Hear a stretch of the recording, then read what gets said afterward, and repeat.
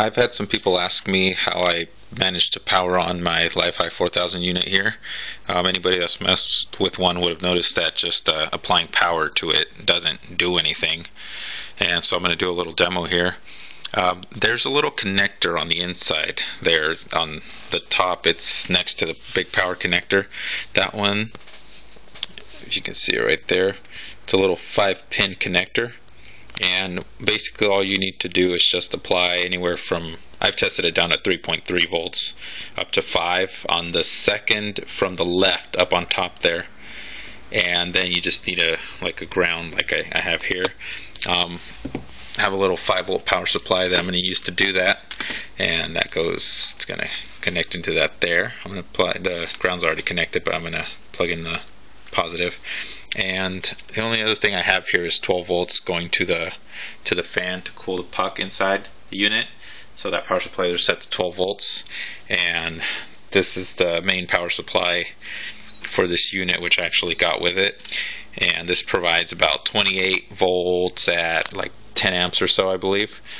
Um, when I first started messing with this I didn't have the proper connector to plug into that there but I did have the small one that's it's a two position connector and it actually fits in there just fine.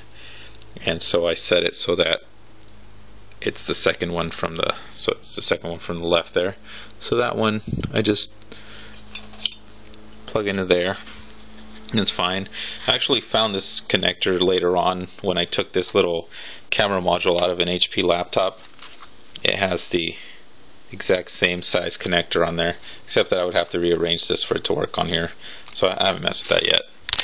But um, let's go ahead and power this on. So that's the that's the main power there. And this one here I'm gonna plug into the mains. How's that?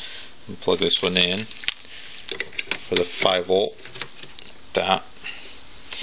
And then as you can see once you apply 5 volts and there it goes.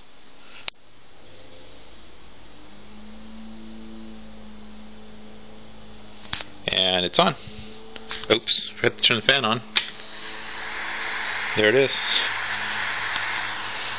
So that's pretty much all there is to it uh, there's a software and a kit available from Luxim that allows you a bit more control over this and I guess supposedly it plugs into that that data connector there and it allows you to read like the temperatures and it allows you to dim the lamp and like stats and things like that. I'm not I don't remember exactly what all it does and I kind of wanted to get my hands on that but I haven't been able to. But other than that, I mean if I just want it to turn on I can do that. Alright, thanks for watching.